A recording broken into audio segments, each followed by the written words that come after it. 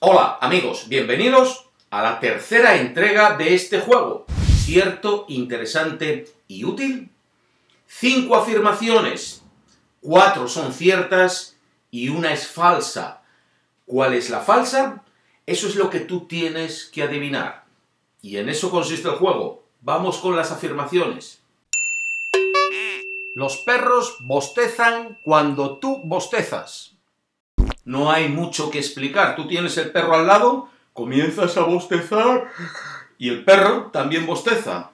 ¿Es cierto o falso? Al activar el inodoro, la mierda llega hasta tu cepillo de dientes. Explico. Todos sabéis que cuando tiramos de la cadena o activamos un inodoro, la fuerza del agua hace que algunas gotas salten fuera de la taza y caigan al suelo. Todo el mundo lo sabe, menos mi mujer, que cuando me ocurre a mí, tengo que limpiar bien para que no se piense que soy yo orinando fuera. Lo que quiero particularizar con esta afirmación es que cuando activas el inodoro, si no cierras la taza del váter, la bacteria de la caca puede saltar hasta una distancia de dos metros. Dos metros. Dos metros es como desde donde está la cámara hasta ahí. Con lo cual, una vez que activas el inodoro, si tu cepillo de dientes está al descubierto a una distancia de dos metros o menos, va a ser rociado generosamente por la bacteria de mierda de quien cague ahí. Y luego tú te vas a limpiar los dientes con eso. ¿Es eso cierto o falso? Mellizos idénticos huelen igual. ¿Cierto? ¿Falso? ¿Conoces algunos mellizos? ¿Huelen igual? Es imposible chuparse el codo. Imposible de una manera natural, ¿se entiende? No valen trucos como me corto el brazo y me chupo el codo. La afirmación se refiere a que es imposible llegarse a chupar el codo. ¿Cierto o falso? La gente es más propensa a creer que una declaración es cierta si rima. Esta misma declaración, por ejemplo, a lo mejor piensas que es falsa, pero no rima. Pero si te digo, la gente es más propensa a creer que una declaración es cierta porque cuando piensa, acierta. Ah, pues sí, entonces sí, es verídica. Estoy diciendo la misma información, pero la segunda vez rima. Y lo que digo es que cuando rima somos más propensos a creer que esa información es verídica. ¿Es esto cierto o falso? Vamos a repasar las cinco afirmaciones rápidamente. Los perros bostezan cuando tú bostezas. Al activar el inodoro, la mierda llega hasta tu cepillo de dientes. Mellizos idénticos huelen igual. Es imposible chuparse el codo. La gente es más propensa a creer que una declaración es cierta si rima. Ahora te doy 10 segundos para que tú escojas. Este es el momento en el que tú escoges cuál es la afirmación falsa. Hazlo.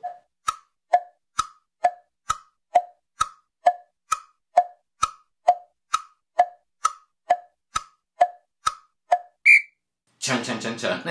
y ahora voy a ir desvelando las informaciones ciertas, una tras otra, para que caso de que te equivocases, puedas volver a escoger otra de las declaraciones restantes y probar suerte de nuevo. La primera declaración cierta es... Mellizos idénticos huelen igual. Es cierto, este experimento lo prueba. A esta hermosa joven le hacen olerle los sobacos a un puñado de hombres a los que no se les ha permitido ducharse en un par de días y se les ha hecho sudar para extraer su aroma más genuino. Primero le huele el sobaco a uno, luego le cubren los ojos y ha de olerle los sobacos a otros cinco hombres para ver si puede identificar al mellizo entre ellos. Y lo consigue sin problema ninguno. Mellizos idénticos huelen igual porque vienen del mismo huevo, tienen el mismo ADN. Quien tenga mellizos en el colegio, que proponga el experimento. Siguiente afirmación cierta. La número 1. Los perros bostezan cuando tú bostezas. Sí, lo hacen. Esto lo probé yo con mi perra, que en paz descanse, en un vídeo hace ya años. Como ella era ya perra vieja y se daba cuenta de que estaba filmando y aquello era una situación rara, me costó un poco, pero bostezó. Aquí veis otros ejemplos más claros. Este hombre hace bostezar a cualquier perro que le pongan delante, o sea que no ha de ser necesariamente tu perro. Los perros bostezan cuando los humanos lo hacemos, ya sea por empatía, simpatía, imitarnos, lo hacen.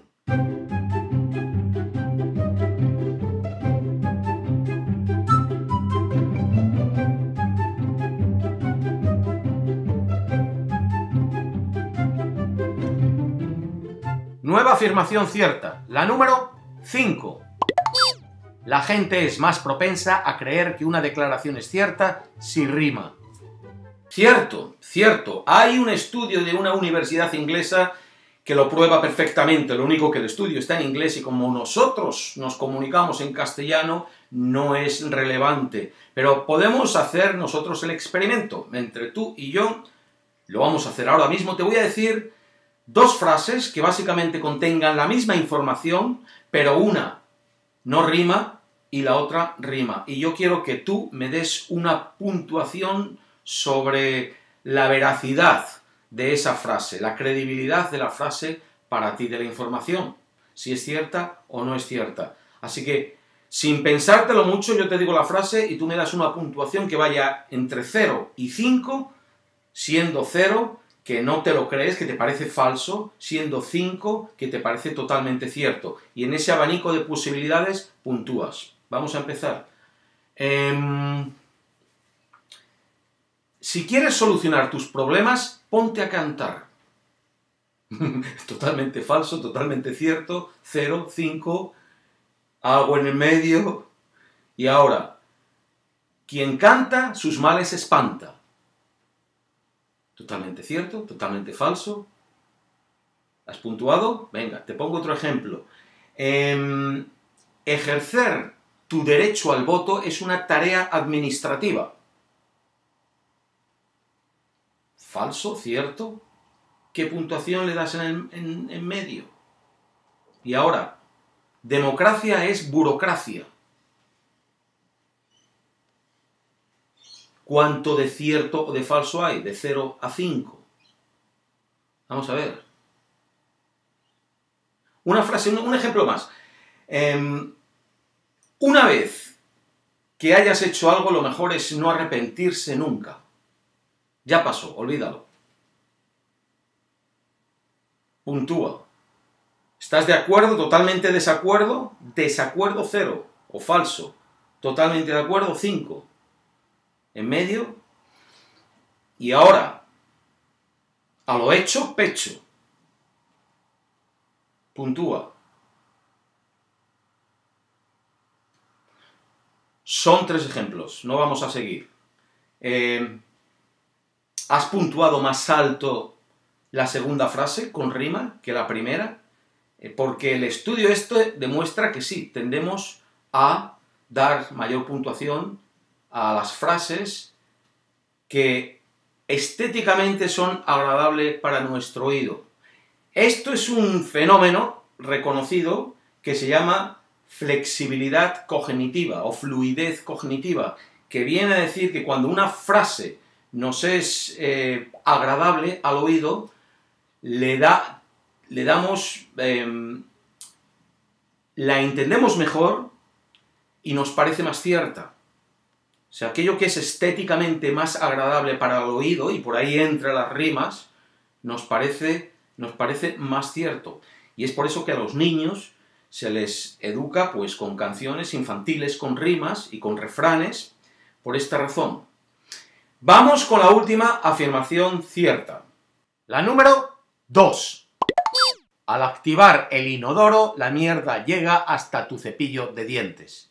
O como especifiqué en la introducción, la bacteria de la mierda puede alcanzar una distancia de 2 metros. Así es. Lo prueban en este experimento en el cual echan un líquido al inodoro que permite ser detectado claramente con luz ultravioleta.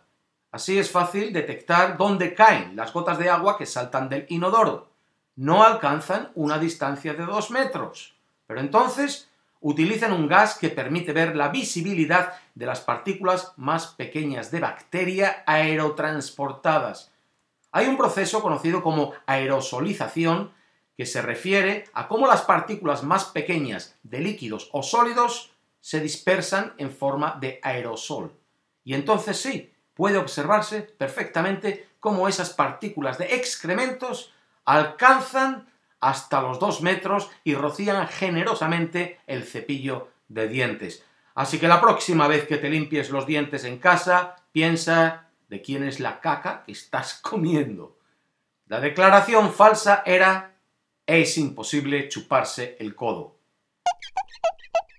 Mito urbano. Imposible, tal vez para ti y para mí, pero aquí puedes ver a alguna gente que consigue hacerlo sin problemas.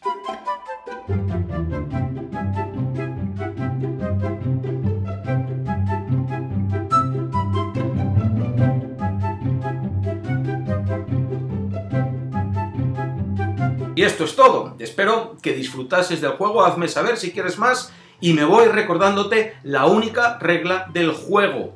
El juego es de todos. Por favor, no lo estropees escribiendo en un comentario la respuesta correcta, porque tendré que borrarte el comentario. Hasta otra. La paz.